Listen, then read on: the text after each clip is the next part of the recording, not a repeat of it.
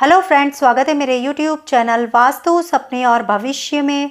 आज हम इस वीडियो में बात करेंगे सपने में मेढक को विभिन्न अवस्थाओं में देखने का क्या मतलब होता है। दोस्तों वीडियो शुरू करने से पहले अगर आप मेरे चैनल पर नए हैं तो सब्सक्राइब कर लीजिए।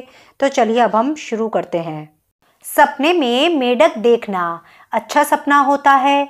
यह सपना अच्छे भाग्य किसी अच्छे समाचार के आने और सफलता मिलने का सूचक होता है।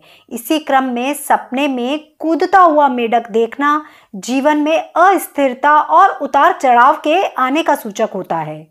सपने में हरा मेढक देखना धन की प्राप्ति या किसी प्रकार के लाभ का संकेत देता है।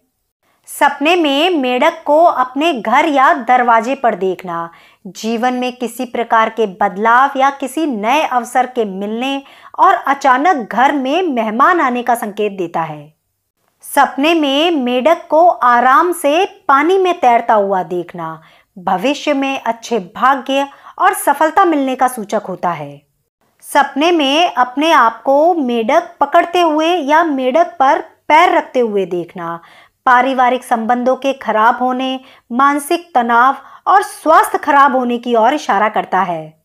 सपने में मेढक की आवाज़ सुनना, किसी प्रकार का लाभ या धन का लाभ मिलने और अच्छा जीवन साथी मिलने का संकेत देता है। सपने में जहरीला मेढक देखना, परिवार व मित्रों के साथ संबंध खराब होने और लड़ाई झगड़ा होने का सूचक होता है। सपने में अपने आप को मेढक को मारते हुए देखना, जीवन में असफलता, नुकसान और किसी प्रकार की हानि होने का प्रतीक होता है। सपने में मेढक को अपने ऊपर कूदते हुए देखना, बताता है कि आपके शत्रु और आपका बुरा चाहने वाले आपका फ़ायदा उठाएँगे। आज के लिए बस इतना ही। अगर आपको मेरा ये वीडियो पसंद आता है तो please like, share and subscribe ज़रूर कीजिए।